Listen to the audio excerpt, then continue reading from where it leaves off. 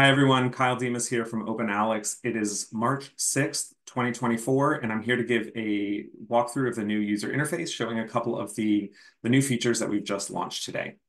So from openalex.org, this looks pretty similar to what it has been previously, but we've made some significant enhancements to this search bar.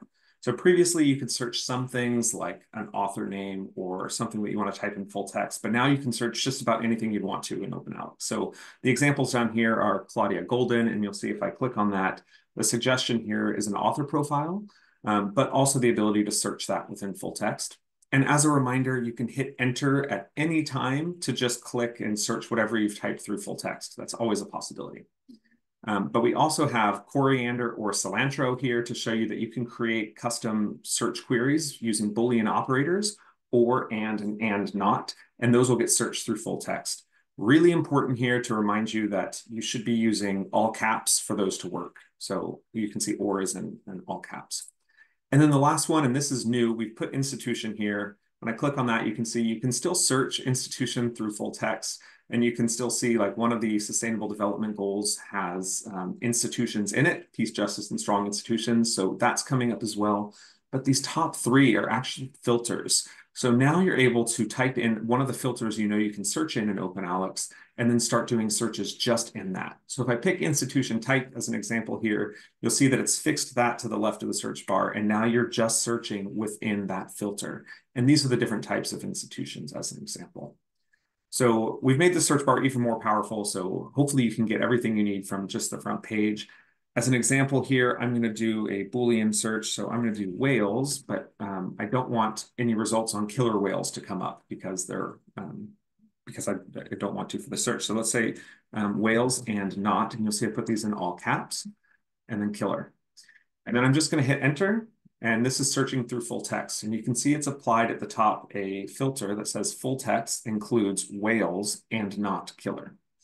So if I were to remove this to change this up here and just say whales, the, the number of results will go up because right now it's 164,000 because that's excluding all the ones that say killer in it. So if I just hit enter, um, you'll see now it's gone up to 176,000. So that's how the Boolean operators work, really helpful. And you can see that I just clicked edit here and you can start editing live in that filter. So really did a lot of this work so that some of the people who are designing systematic reviews have more flexibility in their query design. And that's a big enhancement we're excited about. But you probably noticed when I hit enter and, and came into this page, the bottom half of the page looks very similar to how it used to. Over here on the left, we have all of the works. Um, and right now they were, they're sorted by relevance because I was using a full text search. If you're sorting by an author profile or something like that, um, it's going to sort by default by citations, but you can change that. So if I click year, it's now going to sort by the most recent publications that match those, those works. So that's still the same. You can still download the, the results here. We've made some changes to the download um, feature in the last few months. Now, when you hit download, you get all of the metadata fields. Um, one of the things we're working on the back end is for you to have the ability to pick which metadata fields you export. That will be coming in a future version, so stay tuned for that. But right now, you can download all the metadata fields in there for up to 100,000 works at a time. If you need more, the APIs are probably the best bet, but there's also the, the data snapshot if you want volumes of, of many millions of records.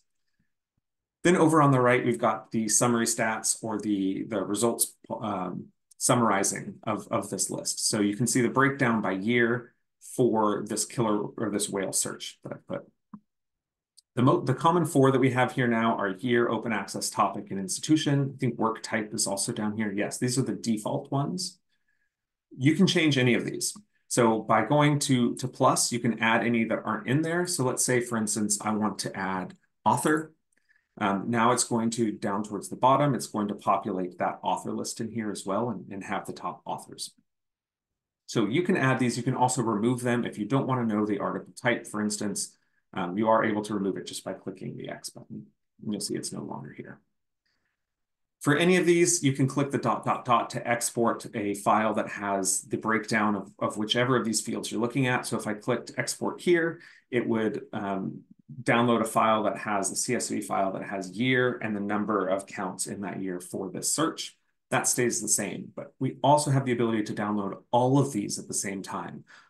So let's say you have something that has 12 different summary stats that you're looking at, and maybe I can add Um, subfield is a new one that we've added recently, field, subfield, domain. So you can add several of these at the same time. Maybe I'll add sustainable development goal as well. Um, you can see it's it's adding those. Once I've done that, if I hit this top right download button, it's going to download an Excel file that has all of these at the same file. So really helpful feature there.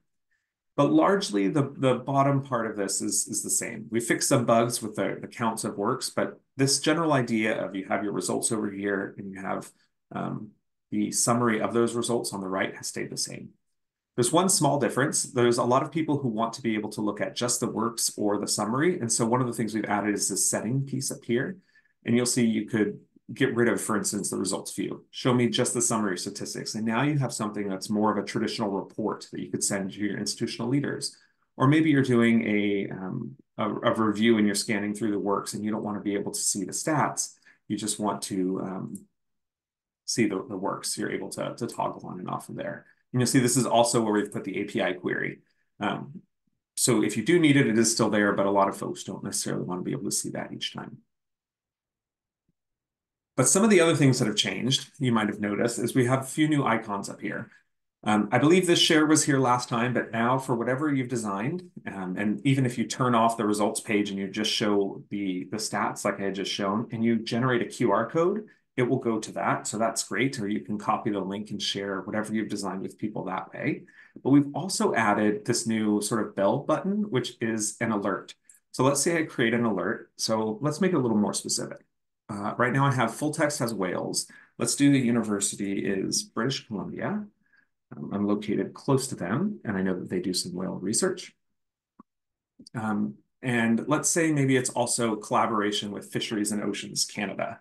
So you notice over the way that I did that, I could have added institution up here through the filters, but I went over to the, the summary by and, and found an institution that they collaborate with and clicked it. And the default there is to then create a new filter based on that. So now the search is any collaborative research on whales between the University of British Columbia and Fisheries and Oceans Canada, which is the federal department that does that type of work. So let's say I want an alert anytime this happens. I go up to this, this bell I name this alert. So whales with DFO, oops, and UBC. You could add a, a, a, longer description there. And you'll see at the bottom, you can either save this search so that you can open it when you're in here, or you can receive alerts from it. So I, uh, I'm creating this, I'm receiving alerts. So now my email is going to get an email when there's new updates from that. The only way we were able to implement this feature is by creating a new login for users. You still don't have to log into OpenAlex to use it. You'll still don't have to pay. All of that is still open. But if you want some of these features to, to save things to your profile, you do need to be able to create a login. So I've already created mine. You'll see when I click on this person at the top right, it says Kyle Demes and it's got my email address. Um, you can log out. It also logs all your saved searches, but you need to be able to do that so that you can um, receive these, these email alerts and save searches. Okay, so I've saved a few searches and I want to show one of them because it's a great example of some of the other functionality we've built into the user interface because you might notice this top part looks a little bit different than it has historically. And let me show you why. So when I click on this at the top, whales with DFO and UBC is what I named this search, but you can see I can make a copy of it, I can save, I can rename it, I can remove the alert here, I can delete it, all sorts of functionality there. I'm going to open one that I've already made. Um, I called it demo countries. I threw it together this morning. Um, you can see this top filter is um, is any of, so it has at least one author with any of these countries as an affiliation. And there's 27, I believe these are the European Union. I did this very quickly this morning um, to show an example. So at the top has at least one country from the EU. And then this second filter, I said, and has any one of these countries as an author. So the, the use case here is you have a group of authors or institutions or countries, and you want to see all the collaborations between any of the people in them. So uh, has anyone, so show me all the publications where there's an author from Australia, Canada, New Zealand, or the UK, and an author from any of the European Union countries. So this is a complexity that took some time to build in, but we're really excited it's there for, for the advanced users who need to be able to do that now. But you'll see the way that you do that is by having the same filter. on two different rows. These are combined with and, one and two, and that's the default here. You can't change that. But you can add or within the same line. So if I wanted to add a new country um, within this group, I'm just going to hit the plus sign over here. Give that a second to load, and maybe I'll pick um, maybe I'll pick Brazil just as an example. You'll see it's adding Brazil here to this list as or. I'm not going to save over this, but but do know that you do have to save once you make changes if you want them to be saved. It doesn't auto save because we didn't want it um, messing with people's saved searches. So we're really excited about that functionality. It's going to be great for some users. Um, we know now that that people are building very complex filters and queries in here. And so we've added a couple other things to help as well that are a little bit more minor. At any point, you can hide the filters that you built so you can just focus on the works because we've seen people who have some very long um, filter queries in here. And we've also added the ability, you can see you can now X out of any row, or you can delete all filters and start fresh with the trash button. So this is meant to make it a little more simple.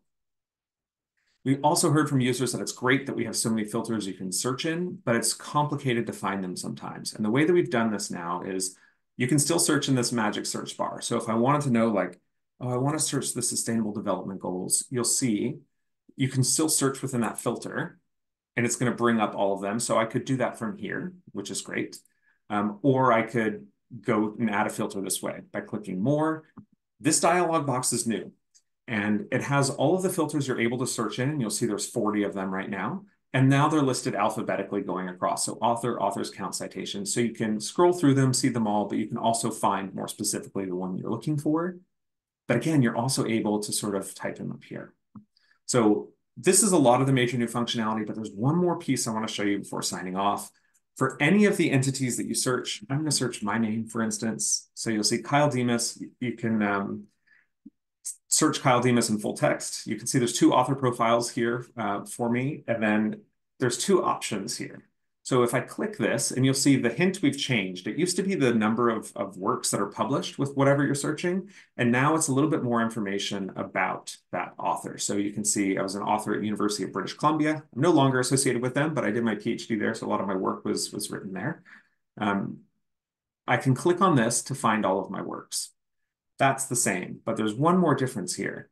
Um, I could click on this to get to the author profile, but you can also get that directly from the search bar now. So if I go back to Kyle Demes and you click this I button, this is going to bring up these new entity profiles.